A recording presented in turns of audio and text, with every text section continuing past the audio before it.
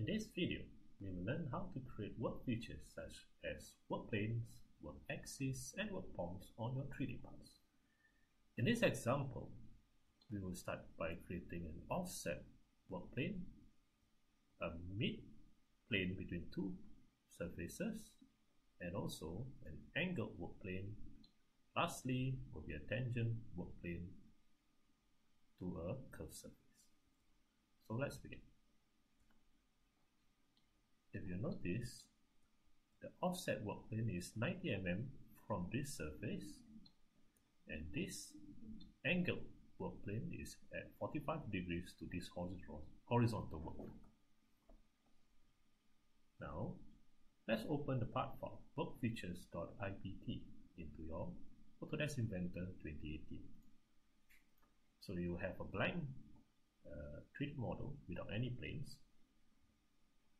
So to begin, where can I access this work plane?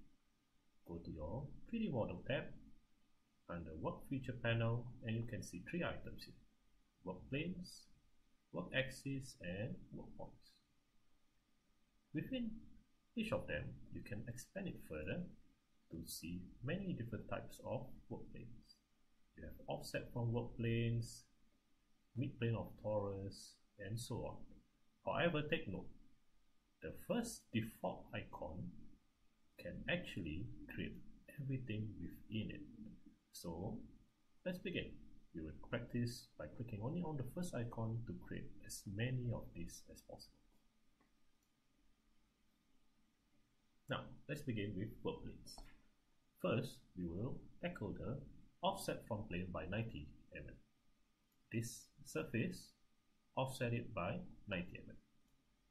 So, things to take note when you activate the work plane feature,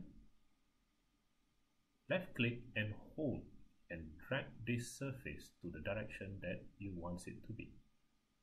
Let me show you. Click on workplane, go to the surface intended, left click and hold and drag. A mini toolbar will appear and you just enter 90 mm and press tick. And you have created your first offset plane. Second will be the mid plane between two planes. We will create a plane between here and surface number 2. Let's try it again. Click on this work plane tool, first surface and second surface. Let's rotate the model and take a look.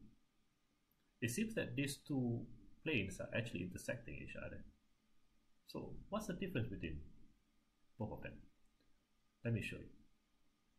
I will enter into the sketch mode and change this 240 mm to let's say 500. Now if you notice the L shape has elongated slightly.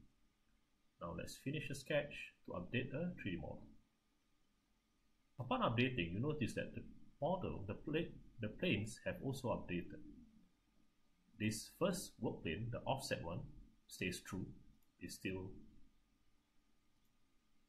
90 mm from this surface. But for this fella, it updates to be mid-plane between the two, these two surfaces. So depending on your design intent, use the work plane wisely. Let's revert back to the original dimensions. Go back to home view by pressing the F6 key. And now we will create angle to plane around edge by 45 degrees.